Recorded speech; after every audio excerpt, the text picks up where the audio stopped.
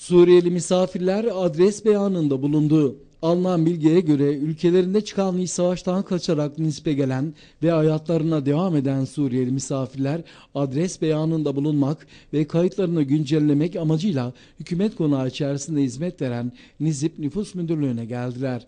Aralarında kadın ve çocukların da bulunduğu çok sayıda Suriyeliye hizmet vermek ve kayıtlarını yapmak için çalışan ilçe nüfus müdürlüğü ekipleri ise Suriyelilerin işlemlerini yaptı. Nüfus Müdürlüğü ekipleri Suriyeli vatandaşların hem kayıtlarını yeniledi hem adres beyanlarını alarak işleme tabi tuttu.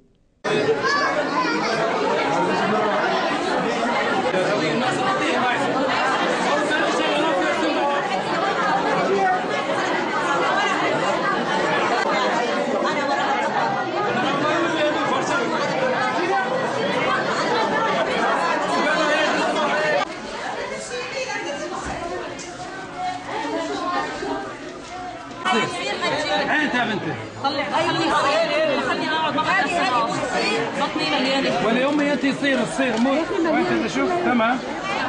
تمام أمي إيه استنى هويات معلش 99 عليهن؟ تمام معلش ما خليني أنا أدخل أقعد. الله يوفقك.